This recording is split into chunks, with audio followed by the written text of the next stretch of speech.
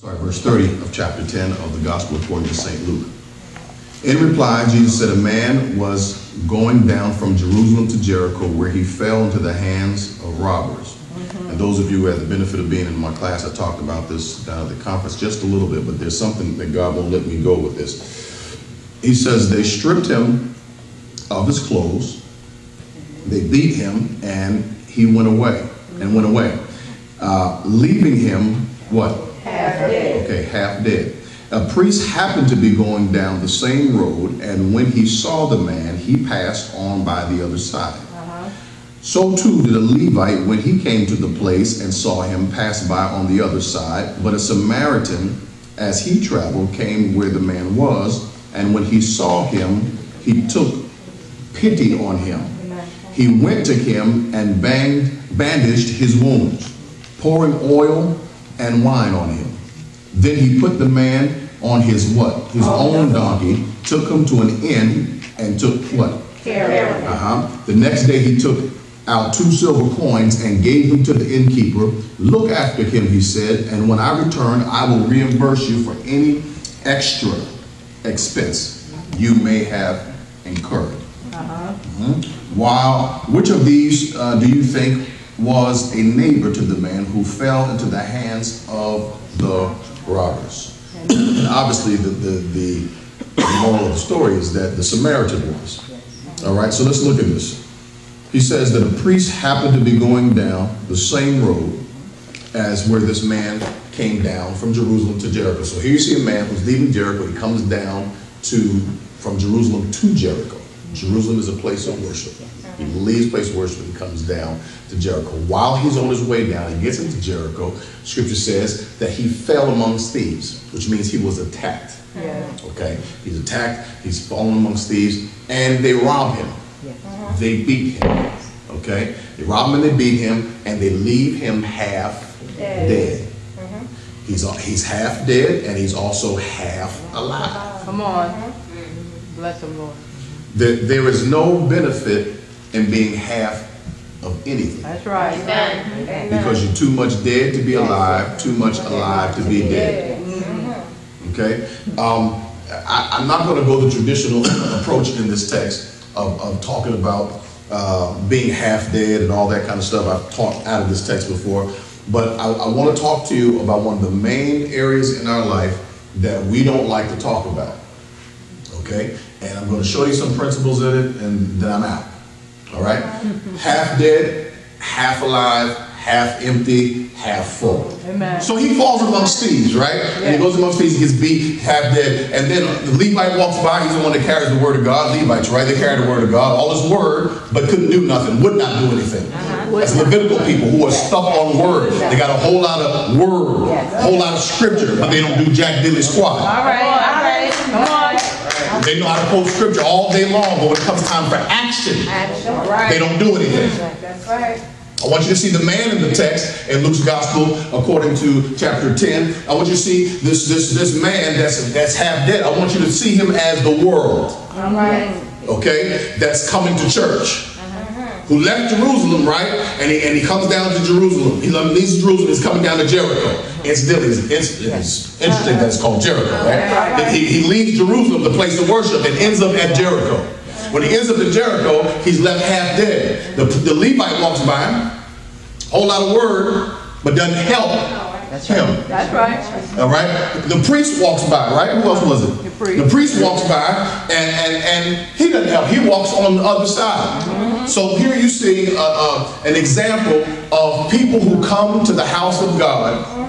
And you have priests, because ye are priests, we are priests, right? Levites, who see situations and needs, but we take it, and the scripture says he went to the other side. Others. The other side, which means I see you, but I don't have time for you. I can't do nothing for you. I'm too busy with my word. Yeah. I'm too busy with my prayer life. I'm too busy in my prophecy that I can't help you. That's right. The moment the church gets too busy to help folk, we shouldn't be in, in, in church. All right. The purpose of a church is not so you can just get more word. It's to take the word that you get so you can help other people. That's how you got here. That's how I got here. He falls amongst thieves.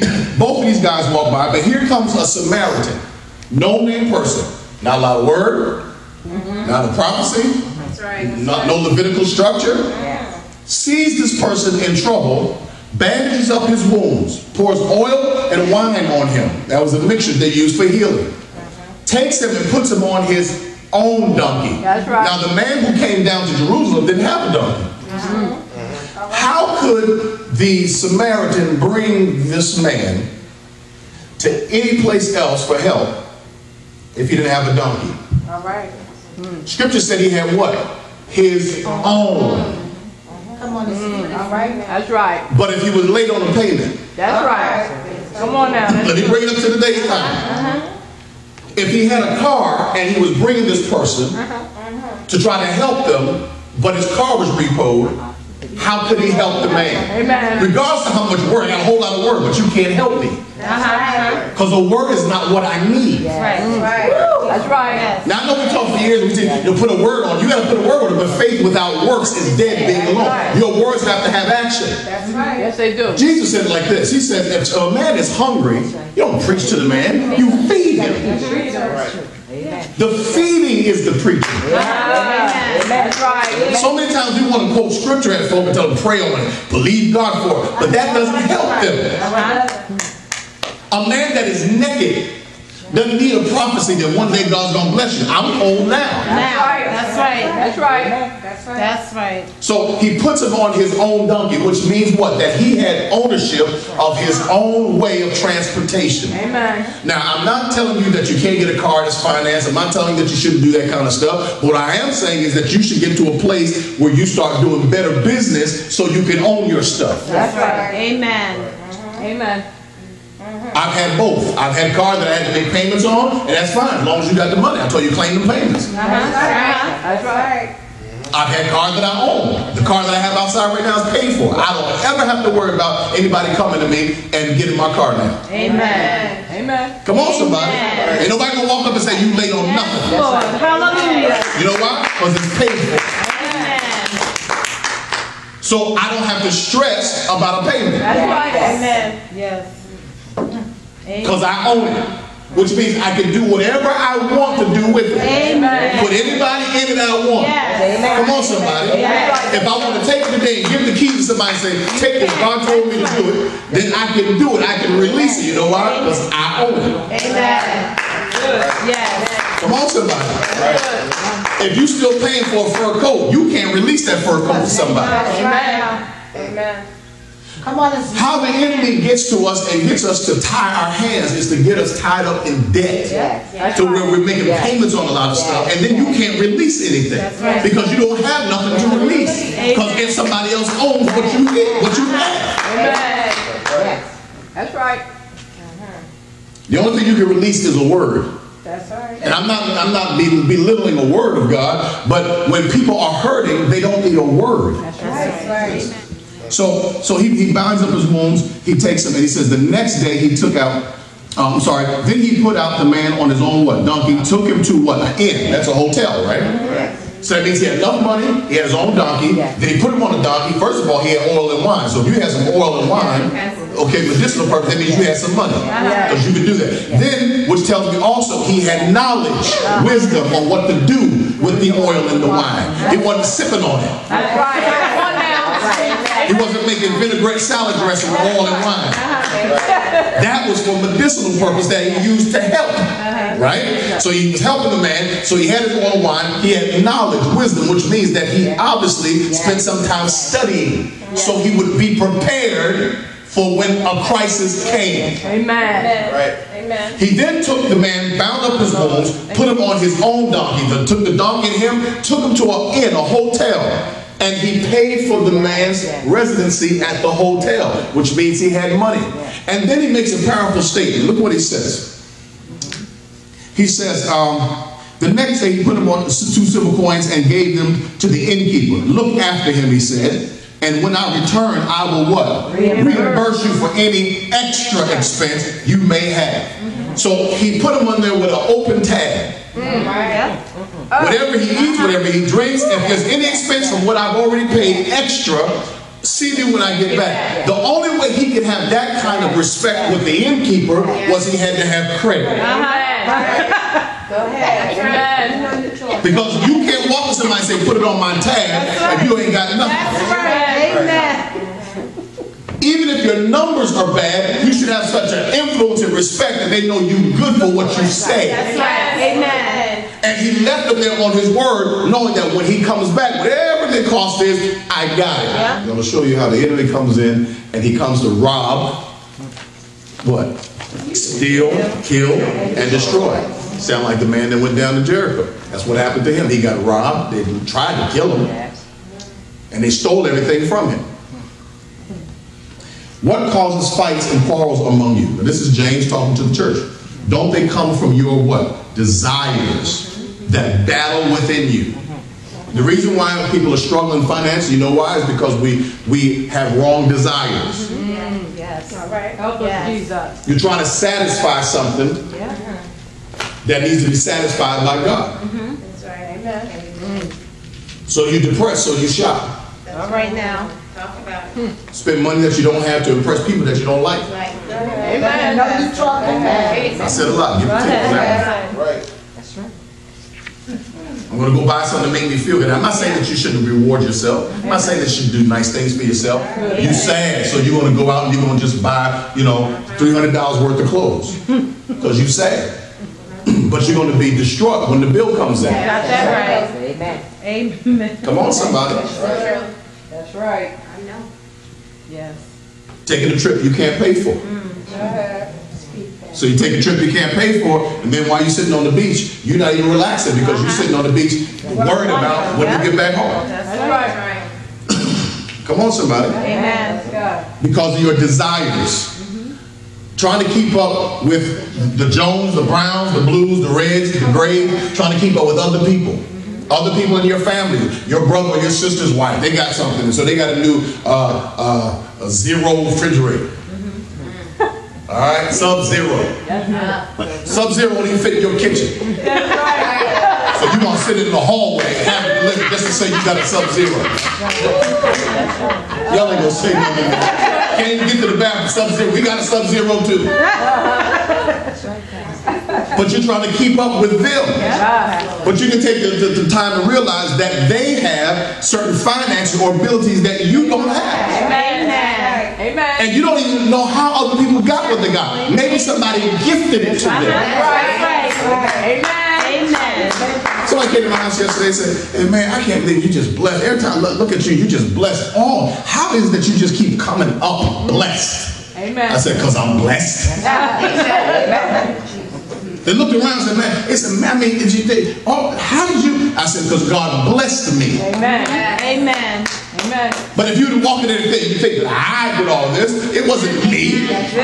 It. Was God that blessed me. That's right. Amen. I know that's But if you try to keep up with what I have and look at it as if Green bought it, All right now. you would die going broke. That's right. Because it wasn't me. Amen. There were people who sold into me. There were opportunities that God gave me. That's right. I Amen. took him down memory lane and started showing them things and telling them stories of how I acquired this and how I got certain things, how, how I got this. And they were just fascinated because of the fact that they saw that God had really just favored me. Amen. Thank What's you. this? Don't they come from your, your desires that battle within you? So a lot of times we struggle within ourselves. Yes. We war. And you hear the war. You hear the gunshots going off. Cannons going off in your head. Should I, boom, should I get it? Ha! Why not? Boom. That's right. On. These are things that are going on in you. Come on, somebody. I mean, you be honest, you hear them. Put the dress back. Crack. Right. You don't need another DVD player. Wow. What you need another ring for? Boom. Just war. Boom. That's good. That's very That's good. Talk about it. You have these desires and you battle within you. You want something, but you don't get it. Mm-hmm. Right? You you kill and covet, but you cannot have what you want. Mm-hmm. You kill. Eh, Some people do it naturally, but outside of natural, you kill, you murder with your lips. That's right. You murder with your emotions, mm-hmm. your motives, your desires. You kill, right? And and and, and you covet. Is that what, what, what the scripture talks about in the commandments says? Do not covet thy neighbor's ox or his ass or his sheep or his goat. That means you want something that belongs to somebody else, their man, their woman, That's right. their house, their car, their lifestyle. I don't ever hear any people, I've never, never heard anybody covet um, um, uh, somebody else's honesty. Wow. Come on. Somebody, somebody else's honesty. So, some, somebody else's proud. I, I, I covet their de- determination, their prayer life. I, I, I, I, I covet their sac. I covet their fasting. Right? That's good. You quarrel and you fight. You do not have because you do not ask God. Amen. And the reason why you don't ask, you got all these wars going on, but you don't come to God with that. Because you know He can see through all of it. You come to everybody else with it, but you don't come to God. We don't go to God with it. You know why? Because we know that God already knows what you're up to. Just like you can look at your kids when they, you see them walking and the way they lean, you know they're, they're up to no good when they come to ask you. Uh-huh. That's right. The way their head is tilted to the side, you can tell, now look, I know you can ready to go with this, but you ain't getting it. That's uh-huh. right. God sees us coming. He said, uh, You do not have because you do not ask God. You do not ask God. You ask people. Right. But you don't ask God. God uses people. Stop asking people. Ask God. God will speak to people. When you ask, you do not what? Receive because you ask with wrong motives. The wrong mojo. Yeah. You ask with wrong motives because your motives are not pure. Why do you need another car? Go ahead. Uh-huh. Nothing wrong with having anything, but why do you want it? What's behind it? Why do you need a, another condo? Why do you need a bigger townhouse? Come on. Come on, somebody. Uh-huh. Why do you need another watch? Yeah. Nothing wrong with having anything, but why do you want it? Do you want it to profile? Do you want it to cast an image or a shadow that you are somebody and somebody is not? Yeah. Go ahead. My, my. Why do you want a man? Come on, All right Pastor. now. Why do you want a wife or a woman? Why do you want kids? Why do you want a title or position? That's right. Why do you come to church? Why do you want to be on an auxiliary or ministry? Thank you. He said, because you have wrong motives, that you may spend what you get on your own pleasures.